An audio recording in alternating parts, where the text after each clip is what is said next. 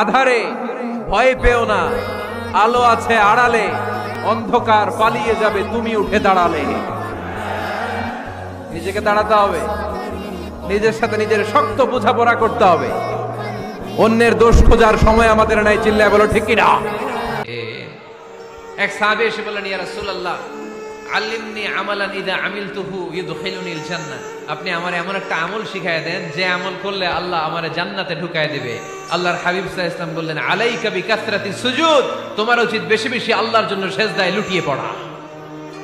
বেশি বেশি সেজদায় লুটিয়ে পড়লে ওই সেজদাকারীর জন্য জান্নাতকে ওয়াজিব করে দেয় কে? কিয়ামতের ময়দানে আল্লাহ বলবে ও আমার বান্দারা, আমার সেজদা দিয়ে দেখা।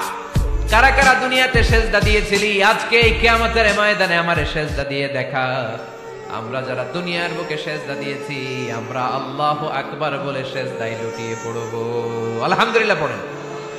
আর যারা দুনিয়ার বুকে সেজদা দেয় নাই, মসজিদে যায় নাই, সেজদাকারীদের সাথে আন্দোলন করে নাই, তারা সেদিন অনেক চেষ্টা করেও তাদের পিঠটারে বাঁকা করতে পারবে না।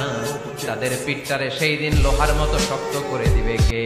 ইংল্যান্ডে বর্তমানে সবচাইতে জনপ্রিয় যে নামটা গোটা ইংল্যান্ড কাঁপিয়েছে, ওই নামটা হচ্ছে M U H A double M A D চিল্লা এখন সুবহান আল্লাহ মোহাম্মদ, সবচেয়ে চয়েসফুল নাম তাদের কাছে।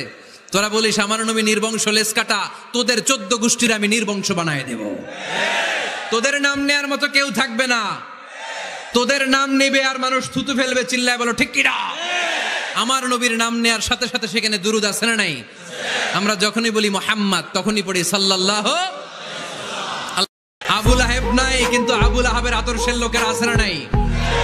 আবুল আহাব নাই, আবুল আহাবের ভাতিজারা যারা না নাই? আমার নবীর বিরুদ্ধে কথা বললে ওইটা আমরা মেনে নিব না, চিল্লায় বলো, ঠিক কিনা? আমার নবীর সম্মানে আঘাত আনলে ওই হাত কি করে ভেঙে দিতে হয় আমাদের জানা আছে না নাই? আমরা আমাদের হৃদয়ে নবীর ভালোবাসা রেখে দিয়েছি।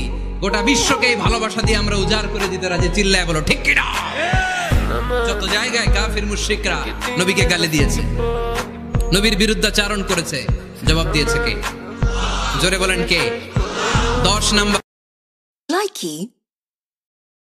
ও আমার যুবক ভাইয়েরা বিকেল বেলা ক্রিকেট খেলার পরে তুমি অজু করে মসজিদে যাও।